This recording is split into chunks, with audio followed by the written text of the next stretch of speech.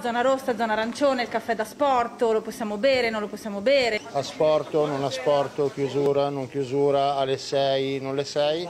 Tra colori e regole che cambiano in fretta, ai commercianti di Milano non è sfuggita la polemica e la conseguente confusione per il loro lavoro sulla Lombardia zona rossa per una settimana ma con dati da arancione. Rosso, arancione, verde, ma i problemi nostri non se ne fregano proprio niente. Problemi che alcune associazioni di categoria pensano perfino di trasformare in class action contro i responsabili delle chiusure forzate, costate almeno 600 milioni di euro, iniziativa supportata anche dai sindaci di Bergamo e Varese Giorgio Gori e Davide Galimberti. All'inizio fu la Regione a contestare la zona rossa chiedendo di sospendere il provvedimento e perfino facendo ricorso al TAR contro il DPCM, ma secondo il Ministro della Salute Speranza è la Lombardia ad aver trasmesso dati errati poi rettificati, tesi confermata da una relazione dell'Istituto Superiore di Sanità, ma contestata dal Pirellone. Eh, solo dopo la proposizione al TAR e l'erroneo inserimento in zona, in zona rossa eh, il Governo ha riconosciuto le nostre richieste e io confermo che i dati inviati dalla Regione Lombardia sono sempre stati corretti.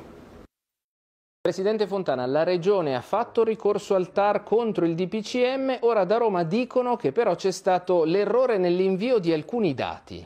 È una notizia assolutamente falsa ed offensiva nei confronti della Regione Lombardia. Noi abbiamo sempre mandato i dati in maniera trasparente e assolutamente veritiera.